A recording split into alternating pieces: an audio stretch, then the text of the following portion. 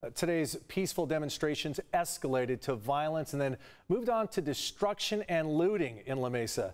Our David Gotfredson joins us live from La Mesa Springs Shopping Center, where people have been grabbing what they can in the middle of this chaos. David.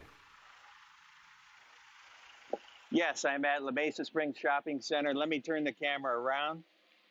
Okay, Play It Again Sports is one of the stores that was hit. You can see it's still smoldering. They took baseball bats to the windows of these stores and went in and looted them. The police, after more than an hour of looting, uh, finally cleared out the crowd.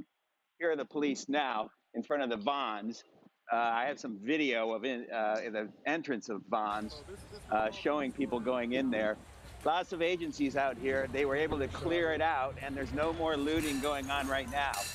Uh, Community College Police, Escondido Police, Sheriff's Department. As far as I know, there was no tear gas shot in this parking lot. But uh, if you, are looking at the video right now, there's some officers right now clearing out parking lot, trying to keep people from coming back in here. But as I say, for about an hour, they were looting the stores here. There's a store here, Sally Beauty Supply. They took baseball bats to the windows of that one, and they were, it was a free for all in there, just looting everything in sight. I'm still here. Sorry about the delay. Anyway, um, if you're looking at this video, the stores are protected now, but that was about an hour ago. That video I shot with my cell phone. And uh, again, we have security out here, and uh, but we don't really need it in this part of the town because the cops are doing a good job. The deputies are doing a good job of protecting these stores now. But it, it was just smoke and looting, people running away with surfboards, skateboards, you know, cases of beer.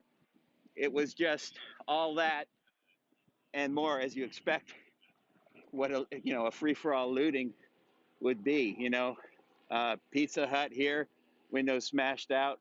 Play It Again Sports. I think that's where the the uh, skateboards and surfboards came from. I saw a guy running away with three motorcycle helmets. So it was, and people were just doing donuts in the park parking lot here. It was crazy here. So anyway, the fire department just showed up. They're going to put out the smoldering business here, Play It Again Sports. As you can see, the smoke coming out. Back to you. All right, David Gotfredson reporting live. Thanks, David. Terrible destruction there. Now we're going uh, to Chopper 8 over the Grossmont Shopping Center, where Alicia, you were watching this video earlier. You know, right before we came live on air at 5 o'clock, we were seeing dozens of people run out of the Walmart. Some of them carry carrying television sets, is what it looked like. They were running in and out. Things were knocked over outside the doors. Uh, not sure how they got in, but it looks like it's been cleared out uh, at this very moment. It was a very fluid scene, very fast. So I would imagine uh, police officers have it under control. Yeah, the, the, other shopping center was a little closer to La Mesa Police Department where mm. the protests were centered, so a shorter walk. This is a little farther away, maybe fewer, more opportunistic people getting there and more officers on the scene quickly. It doesn't look to be the damage we saw at La Mesa Springs that David was showing us.